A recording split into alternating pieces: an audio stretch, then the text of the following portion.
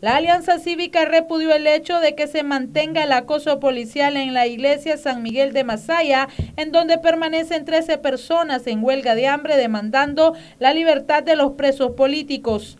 Nosotros tenemos 17 meses de estar trabajando en la liberación de presos políticos. Ha sido parte del trabajo de la Alianza Cívica. Tenemos una comisión de verificación y seguridad que ha trabajado, tenemos la experiencia, estamos movilizando. Eh, obviamente, estos son eh, gestiones que se están haciendo eh, al más alto nivel, ¿verdad? Con las, tenemos que tomar en cuenta que esta es una situación en la cual está involucrada la iglesia por estar estas personas en un templo, así que estamos haciendo todas las, gestiones que en su momento vamos, vamos a dar a conocer, pero eh, estamos trabajando para que esta situación pueda resolverse y que eh, pueda eh, la gente salir en libertad. Nosotros hemos precisamente, parte de algunos miembros de la alianza estuvieron anoche y no cayeron presos por circunstancias del destino, pero la alianza cívica, particularmente el movimiento estudiantil, estuvo presente ayer en, en Masaya. Hay que tomar en cuenta que esta fue una actividad que se organizó organizó al calor de la necesidad que había de llevar víveres a ellos y que eh, esto llevó a que fuera un grupo de la, de la alianza junto con la, con la Unidad Nacional Azul y Blanco, evidentemente. ¿Ha tenido comunicación con la Comisión Especial de, nivel de la OEA que, han dicho ya se venció el plazo?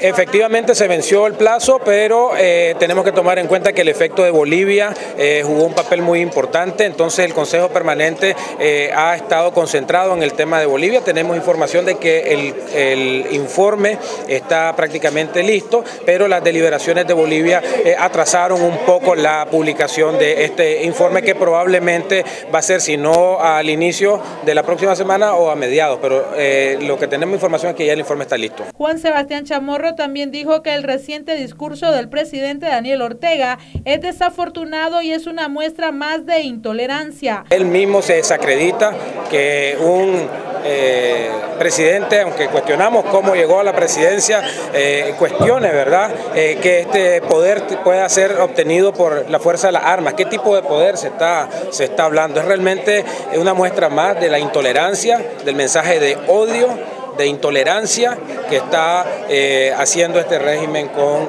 eh, la sociedad nicaragüense. Cuando una persona eh, en esa posición dice cosas de esa naturaleza, como también lo han hecho su hijo, amenazando de muerte, son situaciones sumamente serias que nosotros repudiamos con toda la energía posible porque no es tolerable que autoridades, por muy fraudulentas que hayan sido las razones por las que llegaron a ese poder, amenacen con balas a eh, personas que simplemente piensan diferente a ellos.